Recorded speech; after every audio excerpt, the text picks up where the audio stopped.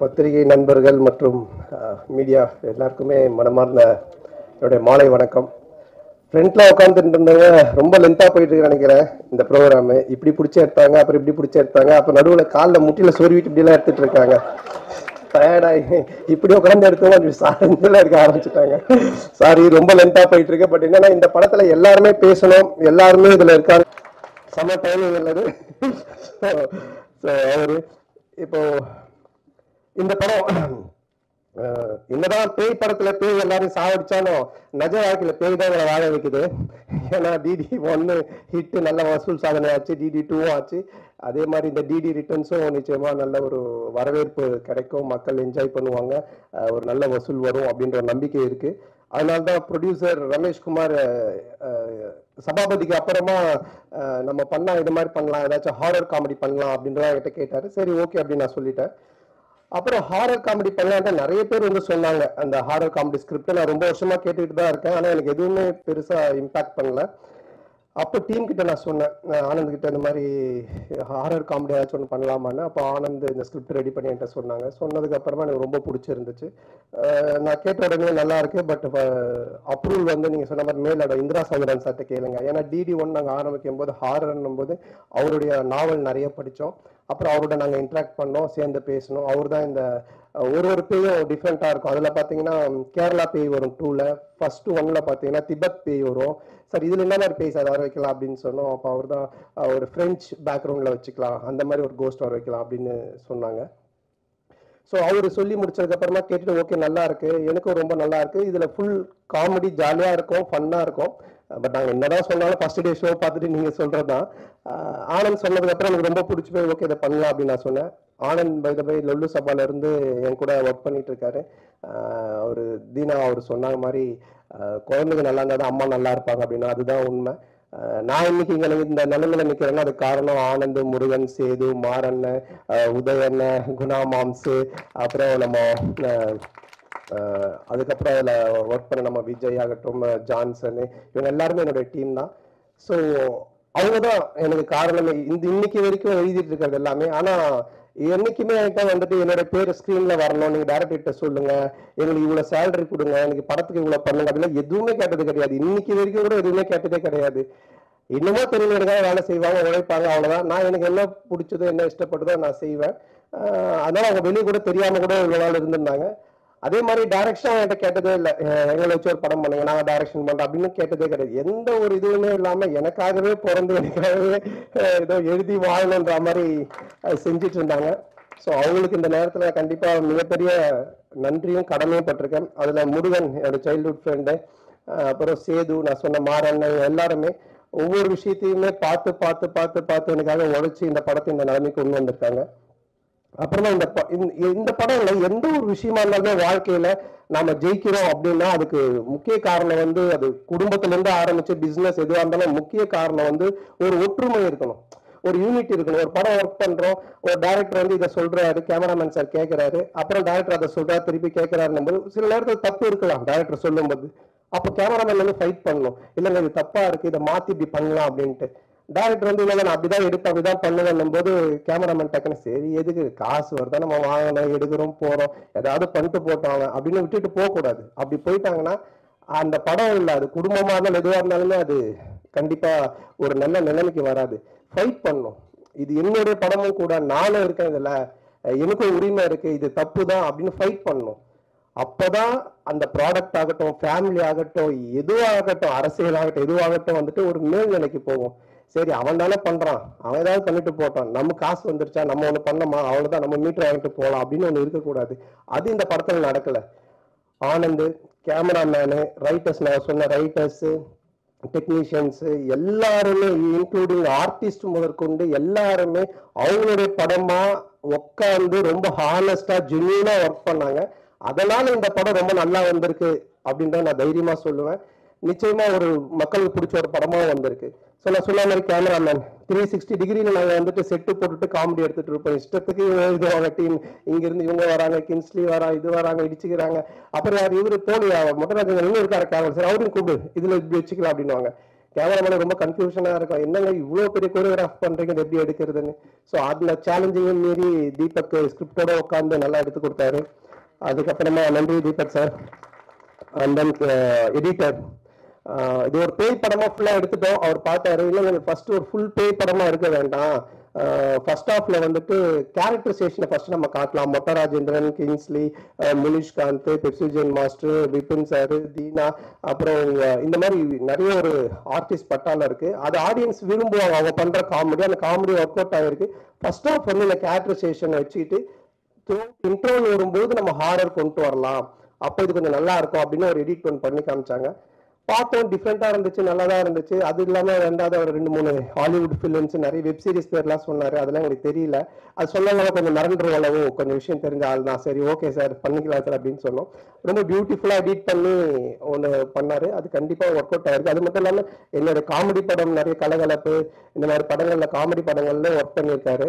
அதுக்கப்புறம் ஆரண்ய காண்ட மாதிரி படங்களை ஒர்க் பண்ணி நேஷனல் அவார்டு வாங்கியிருக்காரு. ஸோ ரெண்டு படங்களும் பண்ணதுனால அவர் சொல்லும்போது அது கரெக்டாக இருக்கும் அப்படின்னு நாங்கள் அதை ஒர்க் அவுட் நல்லா வந்திருக்கு. அதுக்கப்புறம் இந்த படத்தினுடைய ஆர்ட் டைரக்டர் மோகன் சார் சொன்னாங்க.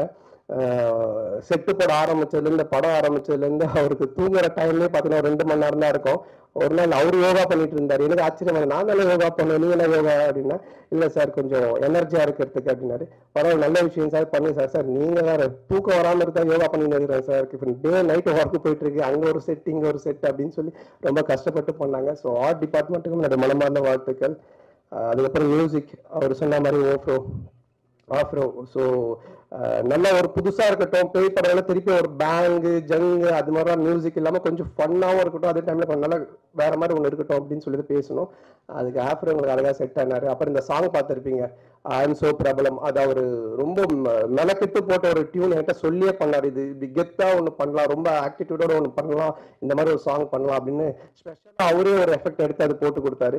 ஸோ ஆஃப்ரோட ஒர்க் ரொம்ப நல்லா இருக்கு. குழந்தைங்க பார்க்கும்போது டாம் அண்ட் ஜெரி மியூசிக்கில் ஒரு ஹாலிவுட் ஃபிலிம்ஸ் பார்க்குற மாதிரி ஒரு கிளாஸான மியூசிக் ஒன்று கொடுத்துருக்காரு. ஸோ அவருக்கும் மிக நன்றி. அண்ட் சாண்டி மாஸ்டர் அப்புறம் அந்த லிரிக் எழுதின துரை அற்புதமான லிரிக் நிறைய பேர் என்கிட்ட கேட்குறாங்க ஐம் ஸோ ப்ராப்ளம்ல நிறைய விஷயங்கள் வருது. ஸோ அந்த லிரிக் எல்லாம் எப்படிங்க உங்களுக்கு ஏற்ற மாதிரி எழுதியிருக்காங்க அப்படின்னாங்க. ஸோ அந்த துரைக்கு என்னோட மனமார்ந்த வாழ்த்துக்கள். சாண்டி மாஸ்டர் அந்த சாங் பார்த்துருப்பீங்க. என்னோட எல்லா படத்துலையும் மாஸ்டர் இருக்காரு. என் போஸ்டர் தான் மாறணும் தவிர மாஸ்டர் மாறவே மாட்டாரு. சாண்டிக்கு எனக்கு அப்படி ஒரு வைப்பு செட் ஆயிருக்கு. அஹ் காலையில கேட்பாரு கார் வந்துருச்சா? ஃபெராரி கார் அந்த பாட்டில் பார்த்தீங்கன்னா வந்துருச்சு. சாரி ஃபோன் அடிக்க அடிச்சோன்னா என்ன பண்ணிட்டீங்க இப்போ இந்த மாஸ்டர் பல்லு தேய்ச்சிட்டு இருக்கேன். அப்படியே கீழே அவங்க பல்லு தேய்ச்சிட்டு அப்படின்னு கூப்பிடுவாரு. எதுக்கு மாஸ்டர் வாங்கினா அப்படியே பல்லு தேய்ச்சிட்டு இந்த கார் என்ன வெள்ளமாமே இந்த வீடு நல்ல- என்ன மாஸ்டர் இது மூமெண்ட் பண்ணுங்க நல்லா இருக்கும். இதெல்லாம் நான் உங்க கூட மட்டும்தான் ஜாலியா பண்ண முடியும் அப்படின்னு எடுப்பாரு. ஸோ இந்த மாதிரி ஒரு ஜாலியா ஒரு இன்னைக்கு இருக்க ஒரு ட்ரெண்டுக்கு பண்ணக்கூடிய ஒரு மாஸ்டர் அவருக்கு அப்புறம் ஹரி தினேஷ் மாஸ்டர் சொன்ன மாதிரி எல்லாருமே ரோப்ல பறக்க விட்டாரு. பட் இதுல பண்ணது பாத்தீங்கன்னா ரீட்டா இவங்க எல்லாம் கூட கிளைமேக்ஸ் ஃபைட் பண்ணியிருக்காங்க. பட் ரொம்ப சேஃபா அடிபடாம ரொம்ப கேர்ஃபுல்லா எடுத்தாரு. ஸோ அவருக்கும் என்னுடைய வாழ்த்துக்கள்.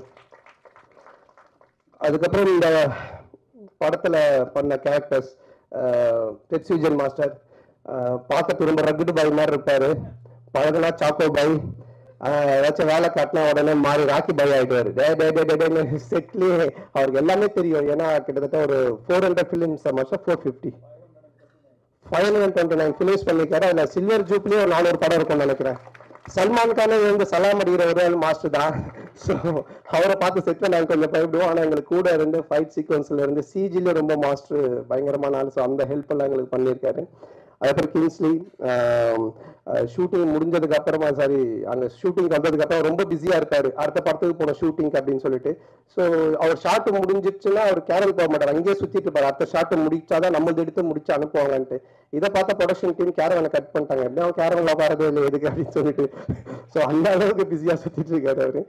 அப்புறம் தீனா அவர்கள் விஜய் சார் படத்தில் வாரி துன்று அப்படின்னு டஃப் கொடுத்த ஒருத்தர் கிங்ஸ்லிகிட்ட மாட்டிக்கிட்டு படம் ஃபுல்லாக எப்படி கஷ்டப்படுறாரு அப்படின்றதா ஒன்று இருக்கும். இங்கே அவர் சொன்ன மாதிரி நீங்கள் படத்தில் பார்த்தீங்கன்னா அவர் சைலண்டாக நிற்கிற மாதிரி ஆனால் அவர் ட்ராக் ரொம்ப நல்லா ஒர்க் ஆகிருக்கு நானே பயங்கரமாக என்ஜாய் பண்ணி சிரிச்சேன்.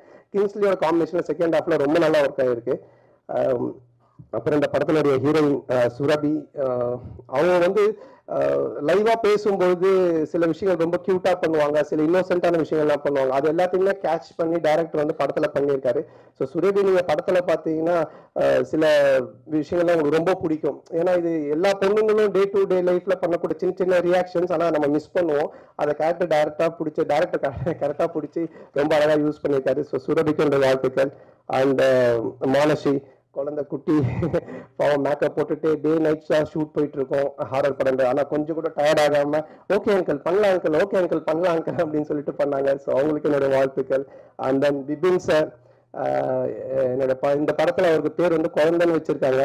அப்புறமா தெரிஞ்சது படம் ஃபுல்லாகவே குழந்தை மாதிரி அன்றவரோட தான் சுற்றுவார் பேரண்டே கிடையாது படம் ஃபுல்லாக ஸோ ஒவ்வொரு கேரக்டருமே இருக்காங்க படத்தில் அப்படின்றத விட டேரக்டர் எழுதி டிசைன் பண்ணிட்டு அதை நாங்கள் அந்த கேரக்டர் பேர் சொல்லும்போது சிரிச்சு சிரிச்சு என்ஜாய் பண்ணோம். அதுக்கப்புறம் தான் இவங்க எல்லாரும் ஃபிக்ஸ் பண்ணாங்க. ஸோ ரொம்ப நல்லாவே அது ஒர்க் ஆயிருக்கு. அதுக்கப்புறம் ரீட்டா அப்புறம் மாசூம். ஸோ இவங்க தான் மெயின் வில்லி அதில் பண்ணியிருக்காங்க பிரதீப் ராவ் சார் இருக்காரு. அவர் வந்து ஒரு கோஸ்ட் வில்லன் அண்ட் மாஸ்டர் வந்துட்டு லைவ் வில்லன் ஸோ அதுக்கப்புறம் பார்த்தீங்கன்னா ஒரு ட்விஸ்டில் இவங்க தான் மெயினாக ஒரு விஷயம் தெரிய வரும். படம் பார்க்கும்போது தெரியும். ஸோ அவங்களும் ரொம்ப நல்லா பியூட்டிஃபுல்லாக டெடிகேட்டாக பண்ணியிருக்காங்க ஸோ அவங்களுக்கு வாழ்த்துக்கள். அண்ட் தென் தங்கதுரை இப்போ காமெடி பண்ணிட்டு போனாரு உங்களுக்கு பார்த்துருக்கோம். அசால்ட்டாக காமெடி பண்ணிட்டு போறதுல தங்கத்தில் அடிச்சுக்கவே முடியாது. அதுக்கப்புறமா அஹ் அண்ட் சேது ரெண்டு பேர் காம்பினேஷன் என் கூட இருந்திருக்கேன் இன்னைக்கும் டப்பிங் முடிஞ்சு சென்சார்லாம் வாங்கியாச்சு. இன்னும் யார் யாரை கலாய்க்கலாம்னு ஏதோ ஒன்று போட்டுக்கிட்டே இருக்கிறாங்க டைலாக்கு ஏன்பா டப்பிங்லாம் முடிஞ்சிருச்சு போனால் கூட கேட்கல எங்கன்னா போகிற இடத்துல இவரை பற்றி அவர் ஒன்று சொல்லிட்டு வர்றது அவரை பற்றி இவன் ஒன்று சொல்லிட்டு வர்றது. மாறன் இன்னைக்கு இந்த வளர்ச்சியில் பயங்கர ஃபாஸ்ட்டாக போயிட்டு இருக்காரு ஒரு காமெடி ரோல்ன்றது அவரோட டெடிகேஷன் தான். நிறைய யோசிப்பாரு நிறைய விஷயங்கள் புதுசு புதுசாக பண்ணிகிட்டே இருப்பார். ஸோ அவரோட காம்பினேஷன்ஸும் இருக்குது அண்ட் தென் கூல் சுரேஷ் எல்லாத்தையும் பையில் போட்டு எடுத்துக்கிட்டல அவன் என்ன பண்ணாலும் அதுக்கப்புறம் எல்லாத்தையும் அதை எடுத்து பையில் போட்டு வீட்டுக்கு எடுத்துன்னு போயிடுவான். அதில் ரொம்ப ஜாக்கிரதையாக இருப்பான். ஆமாம் ஆமா ஆமா. டேரக்டர் என்ன சொல்கிறான்னா அவன் ஒரு காமெடி பண்ணி இந்த மாதிரி காமெடி சொல்லலாம் அது மாதிரி கிடையவே கிடையாது படத்துல. தயவு செஞ்சு அதை மட்டும் நினைச்சு பாட்டிலாம் வச்சு ஒன்று பண்ணான்ல. அது கிடையவே கிடையாது. அவன் எனக்கு சின்ன வயசுல தெரியும். நாங்க ரெண்டு பேரும் காதல் விதலை படத்துலயே வந்துட்டு ஃப்ரெண்டு அவர் சிம்போட ஃப்ரெண்டா ரிச் பாய் மாதிரி நடிக்கும் போது உட்கார உட்கார இல்ல அது மாதிரிலாம் ஒண்ணும் இல்ல. இப்போ ஸ்கோர் பண்றான் பாருங்க. அங்க கேமரா திருப்பணும்ட்டு அவன் மத்தவங்களை பேசுறாப்பே இருக்கும். ஆனா அவனை தான் ப்ரொமோட் பண்ணிப்பான் அப்பத்துல இருந்து. ஸோ இப்படி எல்லாருமே இந்த படத்துல இருக்காங்க. உங்களுக்கே தெரியும். இவங்க பேசினது பண்ணதெல்லாம் பார்க்கும்போது இதை நான் படத்துல இவங்களை வச்சு இப்படி பண்ணியிருப்பேன். ஸோ ரொம்ப நல்லா வந்திருக்கு. வந்து பாருங்க. சன்னாந்திட்ட காமெடி மிஸ்ஸிங் அது வேணும் அப்படின்னு எதிர்பார்க்குற ஆடியன்ஸுக்கு கண்டிப்பாக ஒரு ஃபுல்ஃபில் பண்ணும் இந்த படம். Theatre July twenty eight release ஆகுது. அதுக்கப்புறம் இந்த படத்தினுடைய மற்ற எல்லார் பேருக்குமே நான் தேங்க்ஸ் பண்ணிடுறேன். அண்ட் தென் ரிட்டர்ன் எக்ஸி ஆ மொட்டராஜேந்திர சார் அவர் மறந்துட்டேன். அவர் வந்து தமிழ் சினிமாவோட டாம் குரூஸ் தான் சொல்லணும். ஏன்னா டாம் க்ரூஸ் இப்போ வந்து அந்த லைவ் ஆக்ஷன்லாம் பைக்கில் குதிச்சு பண்ணார்லாம் சொன்னாங்க. அந்த மாதிரி அந்த மனுஷன் அந்த படத்தில் பண்ணிட்டு தான் இருக்காரு. எப்போ வந்தாலும் ரோப்பில் தான் இருப்பாரு. எல்லாரும் வணக்கம் பண்ணுவாங்க திடீர்னு வணக்கம் சார் அப்படின்னாரு. எங்கன்னு பார்த்தா மேலே தொங்கிட்டு இருப்பாரு. திடீர்னு வணக்கம் சார் எங்கன்னு பார்த்தா கபோர்டு மேலே படுத்துன்னு இருப்பாரு. ஸோ படம் ஃபுல்லாகவே லைவ் ஆக்ஷன் அதுவும் டூப் போடாமல் பண்ணாரு. தமிழ் சினிமா டாம் குரூஸ் தான் சொன்னோம் மொட்டராஜேந்திர சார்.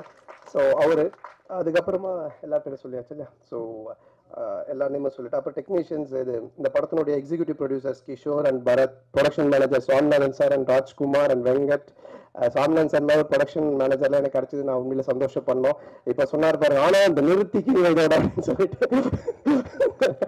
ஸோ அந்த மாதிரி எல்லாருமே என்னோட ஒரு குடும்பம் மாதிரி அது என்னன்னு தெரியல கடவுள் எனக்கு கொடுத்த வரம் தான் நான் நினைக்கிறேன். என்னை வந்து அவங்க குடும்பமா நினைச்சு எனக்காக ரொம்ப உண்மையா உழைக்கிறாங்க உண்மையா நிறைய விஷயங்கள் செய்யறாங்க ஸோ அந்த விதத்துல ரொம்ப சந்தோஷமா இருக்கு. அந்த sound mixing Raja Krishnan sir CG team Hariyan team அப்புறம் SFX Sachin and team and colourist Ranga அவர்கள்.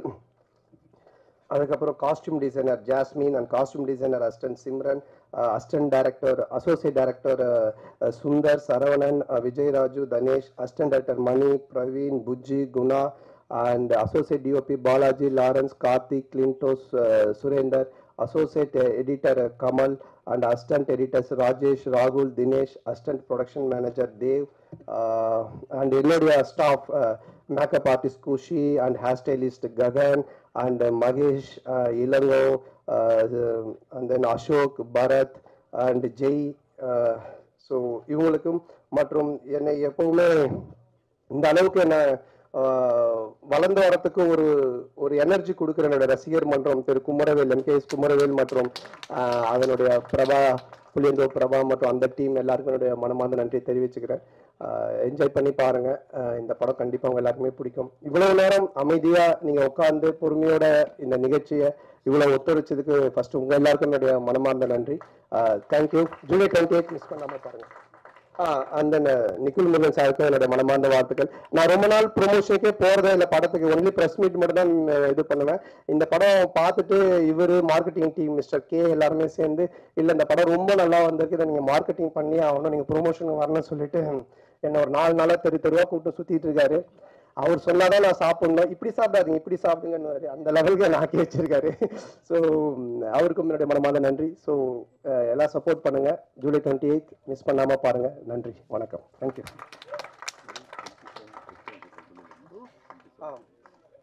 இருபத்தி ஏழாம் தேதி ப்ரெஷ் ஷோ வச்சிருக்கோம். முதல் நாள் ஈவினிங் ஸோ எல்லாரும் வாங்க படத்தை பாருங்க. ஃபேமிலியோட வாங்க குடும்பத்தோட குழந்தையோட வாங்க. கண்டிப்பா பார்த்து என்ஜாய் பண்ணுவீங்க. நானும் வந்து உங்க எல்லாரையும் மீட் பண்றேன். ஸோ ப்ரெஷ் ஷோவில் ரொம்ப நன்றி எல்லாருக்கும். தேங்க்யூ